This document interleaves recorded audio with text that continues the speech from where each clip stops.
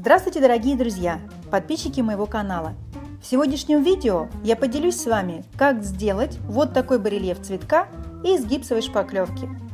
Под барельеф стену необходимо тщательно подготовить. Как это сделать, я рассказала в своем видео. Этот сюжет вы найдете на моем канале. По задумке дизайнера, 3D-визуализацию которого вы видите, в гостиной предполагалось сделать барельеф цветка – я разработала эскиз этого цветка, распечатала его в натуральную величину и закомпоновала на стене по проекту. Этот этап вы видите у себя на экране. Далее, на обратной стороне эскиза я нанесла слой сепии. Это один из старинных методов переноса рисунка, которым пользовались старые мастера. На этом этапе мы делаем вроде копирки. Затем эскиз прикрепляем обратно на стену и карандашом переводим рисунок. Далее на места, где будет создаваться цветок, наносится специальный акриловый грунт на основе кварцевого песка. Это создаст шероховатую поверхность для лучшего сцепления материалов. Мне хотелось бы обратить ваше внимание на организацию рабочего места художника, создающего барельеф. Как видите, обязательно должен присутствовать осветительный прибор и имитировать то освещение, которое предполагается при использовании помещения. В моем случае это люстра в центре гостиной и естественное освещение с окна в дневное время. Начинать работу необходимо с дальних планов. Они создаются небольшим рельефом, а передние планы более выступающие. Как это сделать, речь пойдет далее. Для начала нам понадобится гипсовая шпаклевка, вода, мерные ложечки, перчатки, шпатели, мастихины и скульптурные стеки петли разных размеров и форм. Берем половинку резинового мячика и разводим в нем гипсовую шпаклевку 1 к 2. То есть наливаем одну часть воды и добавляем две части шпаклевки. Тщательно перемешиваем материал и оставляем на 3 минуты. Резиновый мячик очень удобен в использовании, так как засохший гипс из него легко удаляется. Через 3 минуты шпаклевку еще раз перемешиваем и материал готов к использованию. Далее начинаем формировать первый тонкий слой барельефа с помощью мастихина. В процессе работы необходимо следить за сохранением контуров рисунка и старайтесь тщательнее прижимать шпаклевку к стене, чтобы сцепление материалов было крепче. Центр цветка, который будет самым выступающим, можно набирать слоем больше. Посмотрите, как я формирую этот первый слой.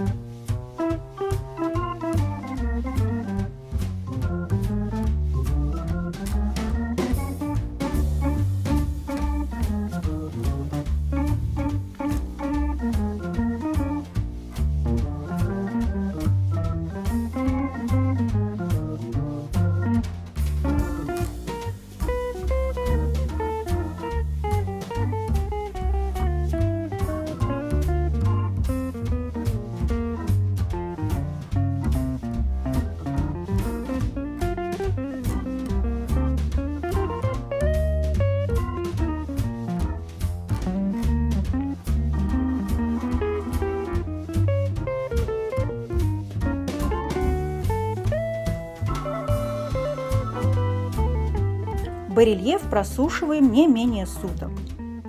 То, что должно получиться на этом этапе, вы видите у себя на экране.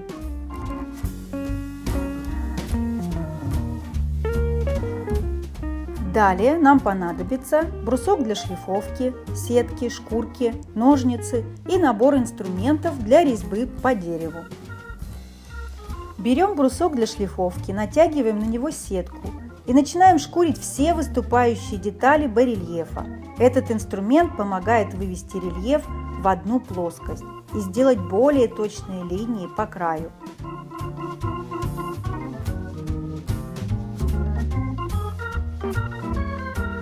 Затем рисунок барельефа уточняем резцом.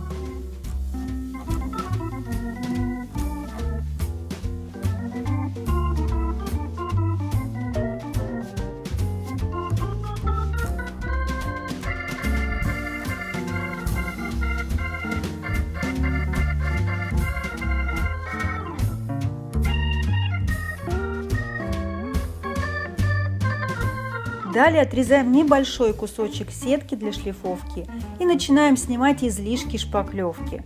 Тем самым опять уточняем рисунок и рельефы цветка.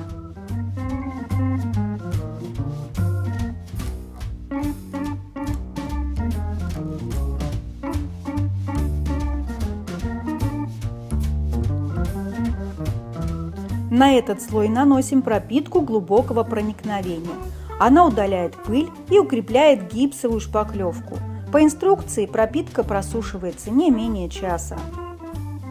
Затем наносится следующий слой гипсовой шпаклевки, создавая тем самым еще больший объем на переднем плане. Последите за моей работой без комментариев.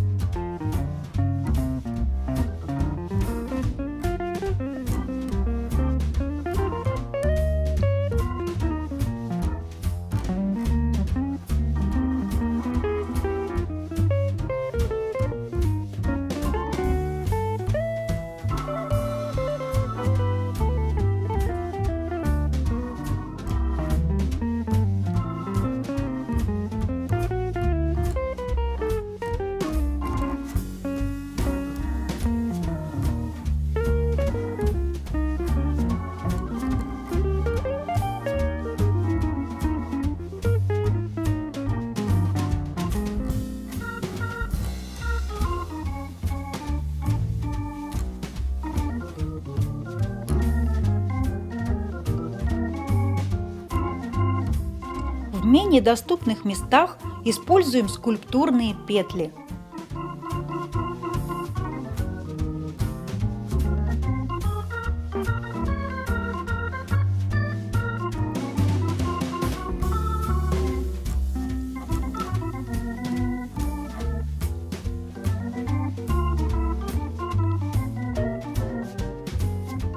Когда шпаклевка немного подсохнет, дорабатываем барельеф ножом для резьбы по дереву.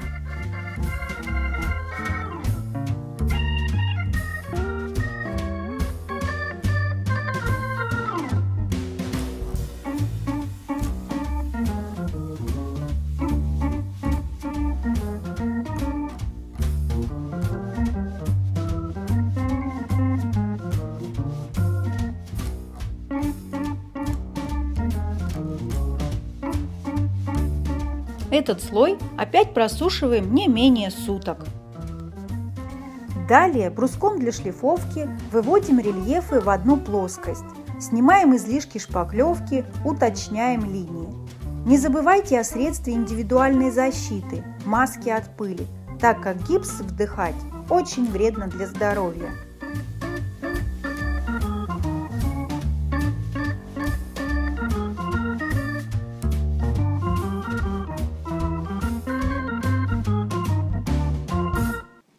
Затем отрезаем небольшой кусочек сетки для шлифовки и опять шкурим барельеф. Стараемся на этом этапе удалить все неточности, ямки и глубокие царапины.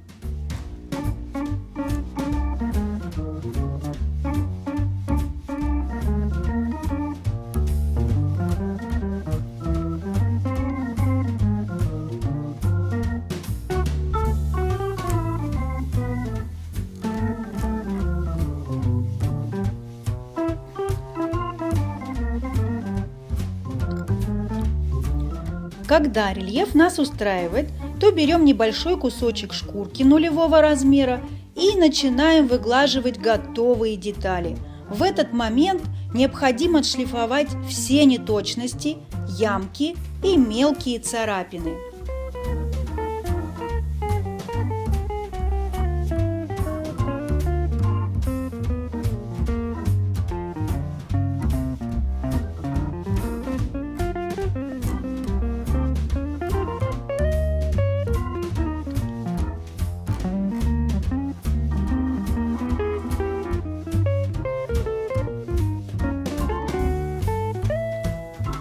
Далее на готовые детали цветка наносим пропитку глубокого проникновения.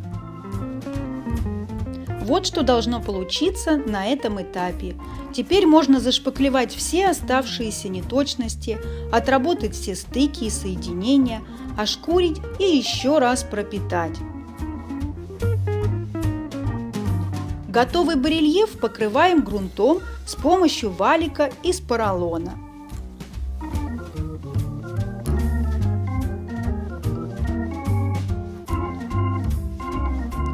На последнем этапе наносим белую матовую краску по всему барельефу.